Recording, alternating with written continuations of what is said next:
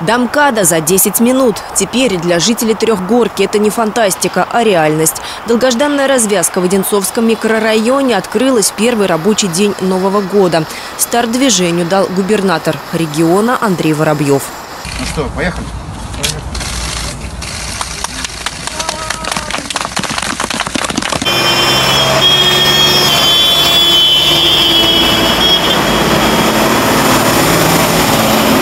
Новая развязка не только позволит жителям Трехгорки быстрее добраться до МКАДа, но и разгрузит Немчиновку и Ромашково.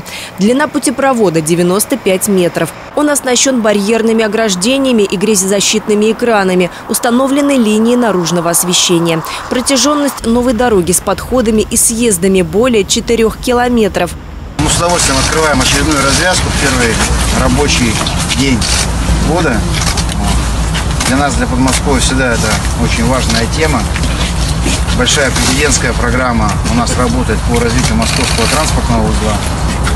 У нас большие планы на этот год, несмотря на ковид. Большое количество объектов строится, и я уверен, они будут существенно сказываться на качестве жизни, на времени, которое семья тратит э, в дороге. До 1 апреля новый путепровод будет работать в тестовом режиме. Ежедневно по нему смогут проезжать порядка 10 тысяч автомобилей. В ближайшей перспективе реконструкция улицы Чистяковой, чтобы обеспечить полноценную транспортную связь Трехгорки с автодорогой Северный обход Одинцова. По плану работы завершатся в декабре 2021 года. Евгения Августина, телекомпания «Одинцова».